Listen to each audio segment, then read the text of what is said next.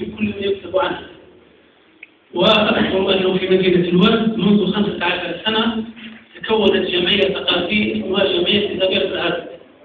تكونت من مثقفين وأساتذة ومحامين لكن سرعان ما انفضت هذه الجمعية وتبحثت وبقي شخص واحد منها فقط وكيل هذه الكاتبة الألمانية إيزابيل الأرض.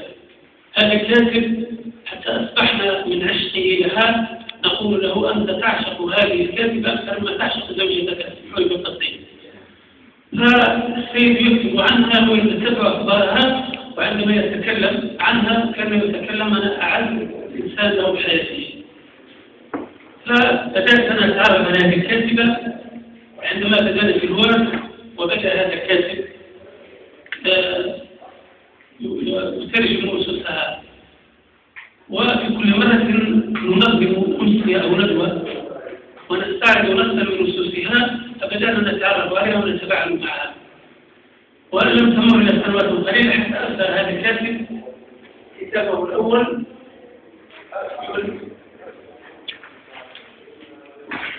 that's a No one.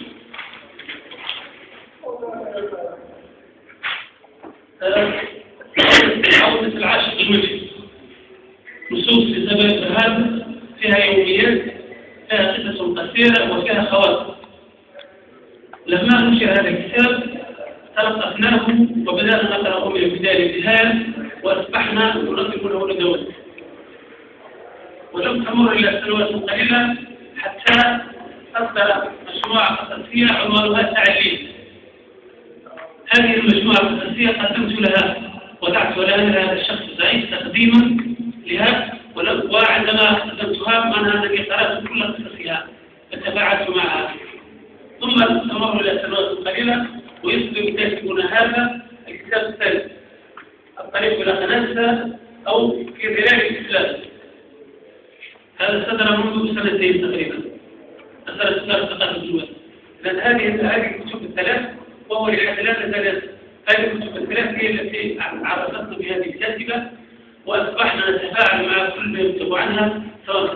الوطنية أو غيرها. ومما شعرني أن أسبب بهذه الكاتبة أنني في ملتقى منظمة هذه الجمعية المباركة في معنا فزرت هذه الولاية وتفاعلت مع السفر أكثر مما تفاعلت ولاية النعم.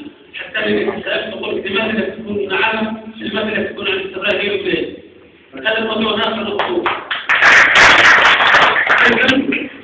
لما أصبحت أتفاعل مع هذه الكاتبة ومع هذه الجمعية المباركة فمجرد ما كلمني أستاذ الفاضل دخل على القادر وقال لي إنكم مدعوون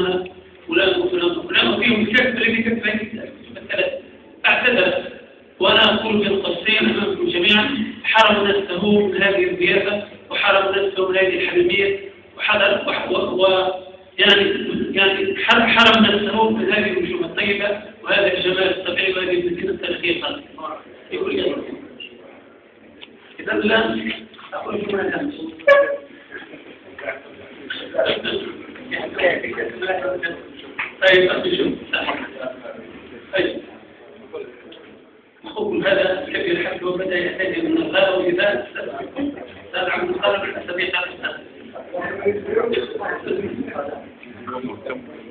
طيب عنوان هذه المداخلة الرحائل سبب المهام عاشقة والسوق البث عاشقة سبيل الوادي واليسوف ونخيلها وكتبانها الرملية وأدقتها وأبارها وساحاتها ومساكنها وإبلها فجاءت كلها صورا مناطقة منسجمة في كتابات عن الوادي كما كانت واضحة جلية في ذهن يوم حياتها. لقد بلغ عشق إسرائيل الهاتف الوادي حتى أن الذين عاشوا حياتهم كلها في هذه المدينة لا يمكن أن يلبسوها في معرفة كانها واطلاعها على أسفل السوريات والثقافة الحياة الاجتماعية والسياسية والاقتصادية والروحية لهذه المدينة حين ذاك وهي التي أطلقت على مدينة الوادي مدينة القبة وقبة الآن مدينة الوادي تسمى مدينة القبة وقبة إذا هي التي أطلقتها هذه التسمية وهي زالت لحد الآن راسخة ومعروفة الجميع. لقد عرفت إسرائيل عن السوء خيرها وشرها. ومن يقرأ نصوصها سيجد ما أقوله. شدتها وهزلها عفتها وطهارتها وفجورها عاداتها وتقاليدها عرفت من آلهة صدقهم وكذبهم قدرهم وإخلاصهم صداقتهم وعداوتهم. كل ذلك سجلته في نصوص فردية جميلة أشبه بلوحات تشكيلية بغاية الجمال وصلت إلى مدينة الوادي يوم 4 أوت 1899 بتكليف بمهمة من طرف المركز. جمهورات الفسي للتحقيق في قتل الزوجات سنة 1895 على الحدود الجزائرية التونسية المدينة وبعد المضايقات التي حدثت من طرف الإدارة الفرنسية العسكرية التي كانت تحبها بالعين الشريرة. وعلق عليها قائد سنة السلطة الفرنسية علق على قدر إن هذه المرأة الروسية بالاسم بالاسم الألماني وبالسير الرجال الفسان والتي تعاشر القبائل وترسم وتكتب لا شك أنها جزء هذا السلطات الفرنسية الآن فهذا الثبات الوالي بعد 15 يوما فقط من قدومها. ثم رجع إليه يوم في أغسطس 1900 اسم مستعار وهو غنوص سعد لانتهارها بطبيعة المنطقة وجمال عمرانها وحسن أخلاق أهلها وأقامت بمسكن شعبي مكتب تقول؟ كتبت تقول؟ إنني بعيدة عن العالم والحضارة ومهازلها المنافقة إنني وحدي في دار الإسلام استحراء حرة. وفي أقوال صحيحة جيدة الوادي البلد الذي لا تعد ديلته هي البلدة الوحيدة التي أقبل أقبل المعيشة في هذه البلد. دائما أريد شراء أرض صالحة للزراعة وأجعل فيها جنان وبئرا ونخلا ثم بعد ذلك اشترت الزبائن الصامت وافق تاريخ السلسول وبدأت في رحلاتها الطويلة في المنطقة وتعرضت فيما بعد على الرقيق باشي سليمان هندي والذي أصبح رفيقها في الحياة حيث تزوجا حقا للشريعة الإسلامية بالزاوية القادرية بالوزن وتم العقد لإصابات باسم عربي ومريض وهو الاسم الذي كانت تصدق به بعض التاجرات وكتبت عن زوجها سليمان تقول اللهم قد أشفق علي لأنه استجاب لدعائي وأعطاني الرفيق الأمثل الذي كنت دائما أرغب فيه والذي دونه كانت حياتي ستكون مفككة وحزينة إصابات صحيح في 29 يناير 1901 تعرض لحادث جدري وعنيف في منطقة الليل لدينا حوالي 20 كيلومتر شمال مدينة الواد فتاة تونس. شمال مدينة الواد في طرف النشاط يدعى عبد الله بن محمد. من الطريقة التجارية. الذي وجه ضربة ضربة سيف أصابته في الذراع إصابة صغيرة لدعوة إهانة الدين الإسلامي عند وتشبه هذا الرجال. وفي تقمص هذا الدين الإسلامي العرب وعدم احترامها للشريعة التي تحرم ذلك وهذا دون النظر إلى جواب هذه ذلك وأحوال البلد غالقة في الخوف والرعب هذه الضربة أقعدتها في مستشفى الوادي أربعين يوما. ومع ذلك فأثناء المحاكمة أشفقت على الشاب عبد الله لأنها علمت أن مدبر الجريمة هم من عملاء الإدارة الفرنسيين ودافعت عنه أمام محكمة الحقيقة في 18 يونيو 1901 ومع كل ذلك فقد حكمت المحكمة على عبد الله الأشغال الشاقة وعلى العسكري وعلى إيزابيل بالنفي كشخص أجنبي. وكان حكما قاسيا وعنصريا في كلمة من قبل القضاء الفرنسي العسكري وتأسفت إيزابيل على قصة الحكم علانية وكتبت خواتها تقول. إنني بحثت في عمق قلبي عن الحث نحو هذا الرجل فلم أجده ولم أكن كذلك. وفي رسالة تاريخ 7 يونيو 7 جوان 1901 إلى جريدة الباشا الجريدة قالت فيها لا يا سيدي المدير إنني لست سياسية ولا عميلة لحزب ما لأنني لا أراهم إلا مغرورين في نضالهم إنني أريد العيش بعيدا عن العالم المتحضر أريد حياة حرة وبدوية وهذا حلمي لأجل أن أنقل كل ما أراه وأنقل شعرية الحزن والسحر الذي أحس به أمام الأعضاء المحزنة لاستحراء هذا كل الأمر وأثناء إقامة جهاز الوادي التي دامت ستة أشهر قامت بأعمال خيرية وإنسانية حيث كتبت في الرسالة التي تقول بعد حادث الاعتداء من قبل المسمى عبد الله بن محمد لقد قلت في الرسالة الأولى إن أهل سوء ومريدي الطريقة الكافرين وكذلك الطريقة التجارية قد أظهروا بالغ حظهم العميق وكامل تأثرهم بعدما علموا بالحادث المؤلم الذي تعرضت له خلال محاولة اغتيال نقرأ لذا فأنا مدينة لهؤلاء من أهل والسوء الطيبين. وما يتصفون به من حنان ومودة وإخاء غمروني به خلال خلال في معالجة السكان المعرفة في الطب. ومن من أمراض العيون المختلفة كالرمد وأمراض الأخرى المنتشرة في الناحية.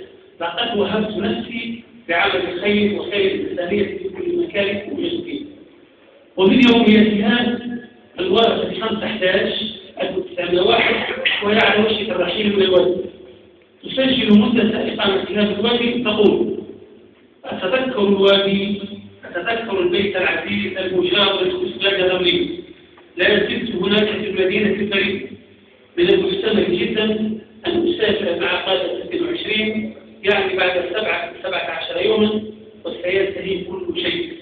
ربما إلى الأبد. يبقى لي من حياتي ستة أشهر هذه إلا الذكرى اللطيفة الحزينة المتناهية.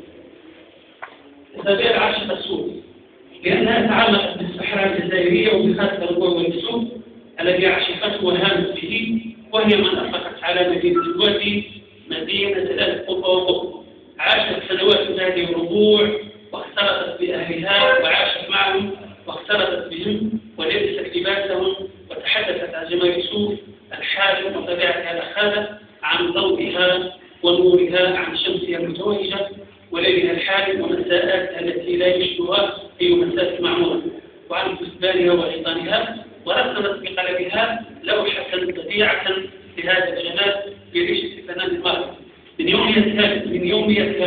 18 1901 تقول أنا هنا منذ زمن طويل والبلد أخاذ جدا وبسيط جدا في تلك الرتابة المفيدة التي تعطيه الشعور بأن تعلقي به ليس ضربا ليس ضربا من الخيال العاطفي أو الأخلاق لا بكل تأكيد ليس هناك مكان آخر من الأرض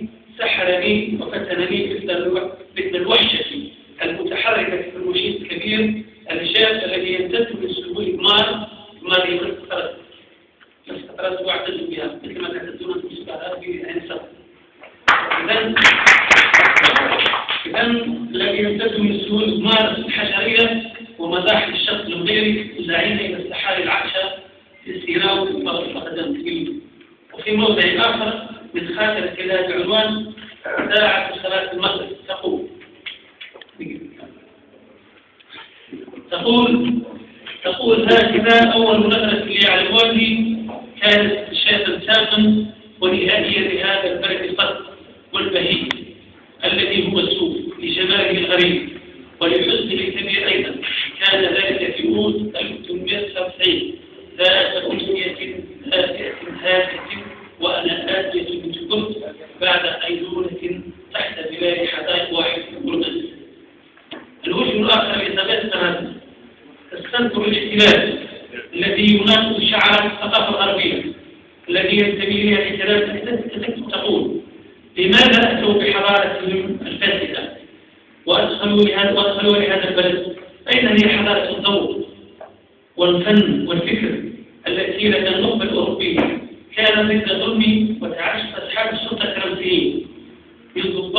وإداريين وأعوانهم المحليين في الأهالي في قصة النقيب تفتح السلوك العسكري وهنجايتهم وسخريتهم واحتقارهم للأهالي في حوار بين سبيل شخص الذي جاء إلى الوادي وبين القبطان الذي كان يتحكم في المنطقة يجري هذا الحوار يقول القبطان أيا كان يخاف كل الطبيب أيا كانوا فإن الأهالي مجبرون على تحية كل الطباء يقول القبطان المتسلم والمتشدد بالمهنة الجندي القناص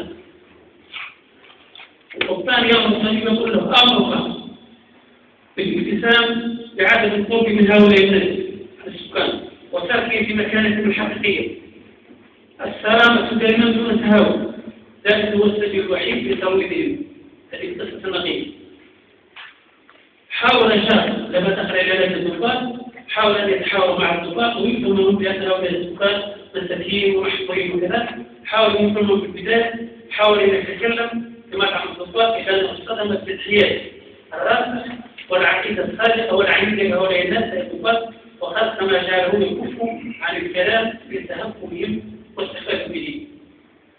القبطان يقول للطبيب لا زلت شابا ايها الطبيب وتجهل كل شيء عن هذا البلد وعن هؤلاء الأهالي. حين تعرفهم ستقول عنهم مثل ما نقول. قال القبطان هذه العبارات بنظرة تهكمية جعل جاء جاء يشعر ببرودة مخيفة تسري في جسمه وبتعالي أكثر.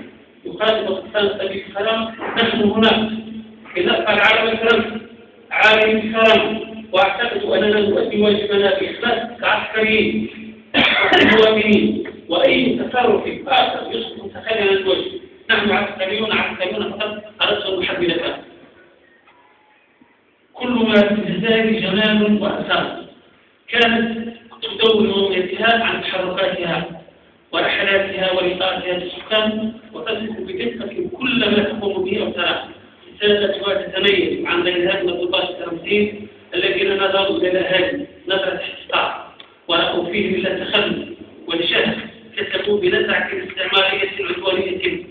ركزوا إلا على الحياة الرتيبة الجامدة الخالية من الحركية والشعور بالجمالية ونظرة التفاؤلية رأت هي أن كل ما في الجزائر يوم ذاك أرقم وطبيعة وإنسان هو جمال وأثار.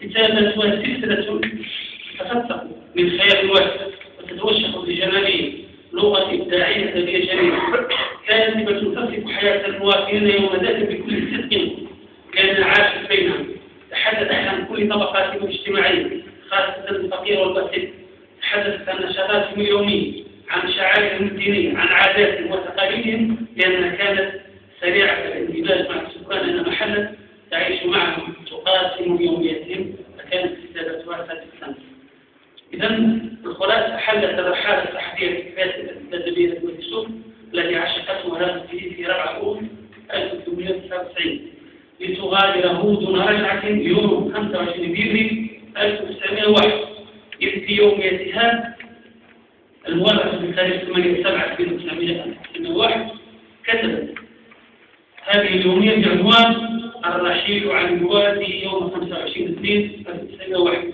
كتبت ذات ذهبت صحبة الطبيب حتى تقصد تقصد هيك سعيد أدمان يعني شمال الوادي ذهبت صحبة الطبيب حتى تقصد.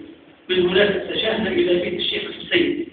قضيت الليلة هناك يوم 26 قضيت الليلة هناك كيف تقصد يوم 26 اثنين 1901 على الساعة الثانية صباحا انطلقنا رفقة الأخضر الدالة لنلتحق بباقي القافلة المتواصلة إلى الكفر كالخلاصة جملة.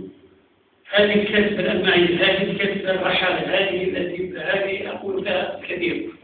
ستبقى لغزا وستبقى لا تجاهل الأساس لأن الكثير الذين يقولون بأنها لم تعطي حقها لحد الآن من التبشير والتقدير والاحترام والبعض الآخر يقول بأنها هي من المغامرة جاسوسة عربية إلى آخر ذلك.